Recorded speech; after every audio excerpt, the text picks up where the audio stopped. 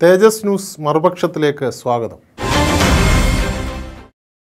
വിശ്വാസ സംരക്ഷണത്തിനായി കേന്ദ്ര സംസ്ഥാന സർക്കാരുകൾ ഒന്നും ചെയ്തിട്ടില്ലാത്തതിനാൽ ലോക്സഭാ തിരഞ്ഞെടുപ്പിൽ സമദൂരം പാലിക്കാനാണ് എൻ എസ് എസിന്റെ തീരുമാനം.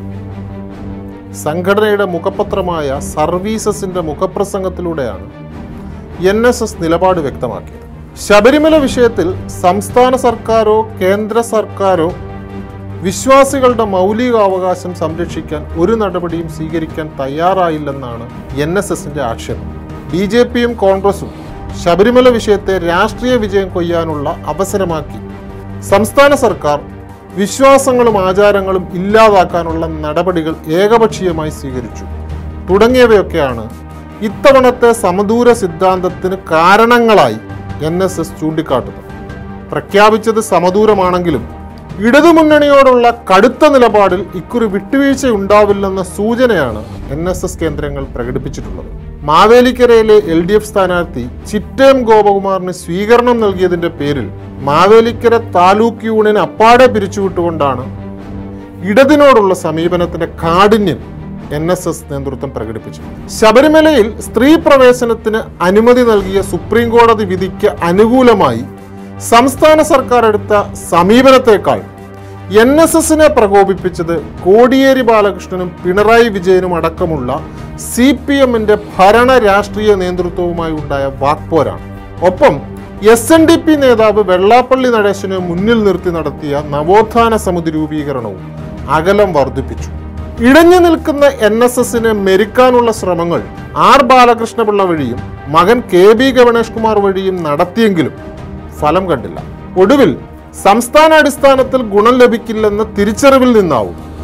ഒറ്റയ്ക്കും പെട്ടയ്ക്കുമൊക്കെയായി എൻ എസ് എസ് നേതൃത്വത്തെ കണ്ടുവണങ്ങുന്ന തിരക്കിലാണിപ്പോൾ സ്ഥാനാർത്ഥികൾ. എൽ ഡി എഫിനെ മാറ്റി നിർത്തിയാൽ എൻ എസ് എസിന്റെ സമദൂരത്തിന്റെ ഗുണം പ്രധാനമായും യു ഡി എഫിനും. ചില മണ്ഡലങ്ങളിൽ എൻ ഡി എക്കും ലഭിക്കാനാണ് സാധ്യത. അതൊക്കെ എങ്ങനെ ആർക്കൊക്കെ എപ്പോഴൊക്കെ നൽകണമെന്ന കാര്യത്തിലാണ് ഇനി തീരുമാനമുണ്ടാവേണ്ടത്. അതുകൊണ്ട് ആവശ്യക്കാർ എൻ എസ് എസിന്റെ തിണ്ണനിറങ്ങാൻ ക്യൂ നിൽക്കുമെന്ന കാര്യത്തിൽ തർക്കമില്ല. നായർ വോട്ടുകളെ മുന്നിൽ നിർത്തി സമദൂരമെന്ന സമ്മർദ്ദ തന്ത്രത്തിലൂടെ ഓരോ തിരഞ്ഞെടുപ്പ് കാലത്തും എൻ എസ് എസ് ആഗ്രഹിക്കുന്നതും അത് തന്നെയാണ്. മറുവശത്ത് ആർക്കും കൃത്യമായി പിടികൊടുക്കാതെ ഒരു കയ്യിൽ എൽ ഡി എഫിനെയും മറുകൈയിൽ എൻ ഡി എയെയും ഉള്ളം കൈയിലിട്ട് അമ്മാനമാടിക്കൊണ്ടിരിക്കുകയാണ് എസ് എൻ ഡി പി യോഗ നേതൃത്വം. എൻ എസ് എസിന് അയിത്തം എൽ ഡി എഫിനോടാണെങ്കിൽ എസ് എൻ ഡി പി ഇക്കുറി അയിത്തം പ്രഖ്യാപിച്ച് അകറ്റി നിർത്തിയിരിക്കുന്നത് യു ഡി എഫിനെയാണ്. തിരഞ്ഞെടുപ്പ് രംഗത്ത് യു ഡി എഫ് ഈഴവ സമുദായത്തെ അവഗണിച്ചു അത്രേ ന്യൂനപക്ഷങ്ങൾ സ്ഥാനാർത്ഥി പട്ടിക ഹൈജാക്ക് ചെയ്തതാണ് വെള്ളാപ്പള്ളിയെയും കുട്ടരെയും പ്രകോപിപ്പിച്ചത്. അതിൽ തന്നെ യു ഡി എഫ് പട്ടികയിലെ ഏക മുസ്ലിം പ്രതിനിധി ഷാനിമോൾ ഉസ്മാൻ വയനാട്ടിൽ മത്സരിക്കാതെ ജയസാധ്യത തീരെ ഇല്ലാതിരുന്നിട്ടുകൂടി ആലപ്പുഴയിൽ സ്ഥാനാർത്ഥിയായി നടത്തിയ ഹൈജാക്കിംഗ് ആണ് അദ്ദേഹത്തെ ഏറെ അസ്വസ്ഥനാക്കിയത്. ശബരിമലയിൽ യുവതികൾ പ്രവേശിച്ചതിൽ മാനസികമായി അതൃപ്തി ഉണ്ടെങ്കിലും വനിതാ മതിൽ കെട്ടിപ്പൊക്കാൻ രൂപീകരിച്ച നവോത്ഥാന സമിതിയുടെ തലപ്പത്ത് പ്രതിഷ്ഠിച്ചതോടെ ഇടതുപക്ഷം ചെയ്ത സമസ്ത അപരാധങ്ങളും മുൻകാല പ്രാബല്യത്തോടെ പുറത്തു കൊടുക്കാൻ എസ് എൻ ഡി പി യോഗത്തിന്റെ ആജീവനാന്ത ജനറൽ സെക്രട്ടറി കൂടിയായ വെള്ളാപ്പള്ളി നടേശൻ തയ്യാറായി. അതേസമയം ജനറൽ സെക്രട്ടറിയുടെ മകനും യോഗം വൈസ് പ്രസിഡന്റുമായ തുഷാർ വെള്ളാപ്പള്ളിയുടെ രാഷ്ട്രീയ ചായ്വ് നരേന്ദ്രമോദിയോടാണ്. അങ്ങനെ എസ് എൻ ഡി പിയുടെ തലപ്പത്തിരുന്ന് അച്ഛൻ എൽ ഡി എഫിനൊപ്പവും ബി ഡി ജെ എസിന്റെ തലപ്പത്തിരുന്ന് മകൻ എൻ ഡി എക്കൊപ്പവും നിൽക്കുന്ന അതിസമർത്ഥമായ സമ്മർദ്ദ രാഷ്ട്രീയമാണ് ഈഴവ വോട്ടുകളെ മുന്നിൽ നിർത്തി അരങ്ങേറിക്കൊണ്ടിരിക്കുന്നത്. ജനറൽ സെക്രട്ടറിയും വൈസ് പ്രസിഡന്റും കൂടി യോഗത്തിന്റെ വോട്ടുകൾ വീട്ടിലിരുന്ന് വീതിച്ചു നൽകുമെന്നതിനാൽ ആവശ്യക്കാർ രാവും പകലും നോക്കിയും നോക്കാതെയും ഒക്കെ കണിച്ചുകുളങ്ങരയിലേക്ക് എത്തുമെന്ന് ഉറപ്പ്. എൻ എസ് എസിനെ പോലെ എസ് എൻ ഡി പിയുടെയും തിരഞ്ഞെടുപ്പ് കാല ചിന്തകൾ ഇതൊക്കെ തന്നെയാണ്.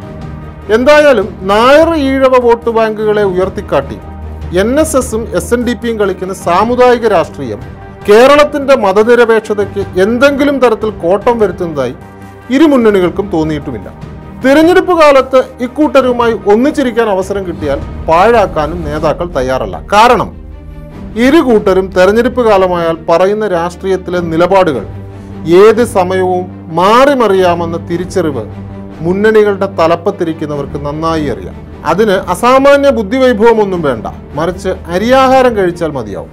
പക്ഷേ ഈഴവ നായർ സമുദായ നേതാക്കൾ രാഷ്ട്രീയം പറയുന്നത് പോലെയോ നിലപാടുകൾ സ്വീകരിക്കുന്നത് പോലെയോ അല്ല മുസ്ലിം വോട്ട് ബാങ്കിന്റെ ബലത്തിൽ രാഷ്ട്രീയം കളിക്കുന്നവർ ചെയ്യുന്നത്.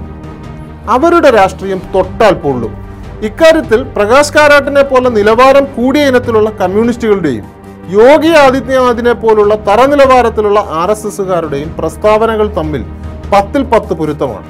മുസ്ലിം ലീഗുമായുള്ള രാഹുൽ ഗാന്ധിയുടെ കൂട്ടുകെട്ട് മതനിരപേക്ഷതയ്ക്ക് ചേർന്നതല്ലെന്ന് പ്രകാശ് കാരാട്ട് പറയുമ്പോൾ മുസ്ലിം ലീഗ് കോൺഗ്രസിനെ ബാധിച്ച വൈറസ് എന്നാണ് യോഗി ആദിത്യനാഥിന്റെ പ്രതികരണം. മുസ്ലിം വോട്ടുകൾ നിർണായകമായ വയനാട് സീറ്റിൽ രാഹുൽ ഗാന്ധി മത്സരിക്കാൻ തീരുമാനിച്ചതിനെതിരെയായിരുന്നു ഇരുവരുടെയും സമാനമായ പ്രതികരണം ഉണ്ടായത്.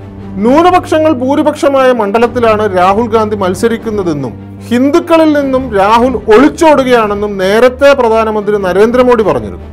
വർഗീയവാദികളായ ബി ജെ പിയെ പരാജയപ്പെടുത്താനുള്ള മാർഗം വർഗീയവാദികളായ മുസ്ലിങ്ങളുമായി കൈകോർക്കലല്ലെന്നായിരുന്നു ഈ ഘട്ടത്തിലെ കോടിയേരി ബാലകൃഷ്ണന്റെ പ്രതികരണം. ഇരുവരെയും പ്രകോപിപ്പിച്ച പൊതുഘടകം വയനാട്ടിലെ നിർണായകമായ മുസ്ലിം വോട്ടുകൾ തന്നെയായിരുന്നു. മുസ്ലിം ലീഗിനെയും ജമാഅത്തെ ഇസ്ലാമിയെയും പോപ്പുലർ ഫ്രണ്ടിനെയും ഒക്കെ ഉയർത്തിക്കാട്ടി മുസ്ലിം വർഗീയത എന്ന് കൃത്യമായി നിർവചിക്കുന്ന പ്രകാശ് കാരാട്ടും കോടിയേരി ബാലകൃഷ്ണനുമൊക്കെ പക്ഷേ മറുവശം പറയുമ്പോൾ ബി ജെ പി വർഗീയത എന്ന രാഷ്ട്രീയ പ്രയോഗത്തിനുള്ളിൽ ഒതുങ്ങി നിൽക്കാനും ഹിന്ദു വർഗീയത എന്ന് പറയാതിരിക്കാനും കാണിക്കുന്ന സൂക്ഷ്മത ശ്രദ്ധേയമാണ്. എൻ എസ് എസും എസ് എൻ ഡി പിയും ഒപ്പം ചേരുമ്പോൾ അത് സാമുദായിക വോട്ടുകളും മുസ്ലിം കക്ഷികൾ ഓരം ചേർന്നാൽ അത് വർഗീയ വോട്ടുകളുമായി മാറുന്ന മനോഭാവം കാരാട്ടിലും കോടിയേരിയിലും പിണറായിയിലുമൊക്കെ ഒരേപോലെ കണ്ടുവരുന്നതും വയനാട്ടിലെ ലീഗിന്റെ പതാക കാണുമ്പോൾ പാകിസ്ഥാൻ പതാകയാണെന്ന് തോന്നുന്ന ഉത്തരേന്ത്യയിലെ ഹിന്ദുത്വ രാഷ്ട്രീയക്കാരുടെ മനോഭാവവും ഒരേ ത്രാസിൽ തൂക്കാൻ കഴിയുന്നതാണെന്ന് സാരം. മറുപക്ഷത്തിന്റെ ഈ ലക്കം ഇവിടെ അവസാനിക്കുന്നു. വീണ്ടും അടുത്ത ആഴ്ച തേജസ് ന്യൂസ്.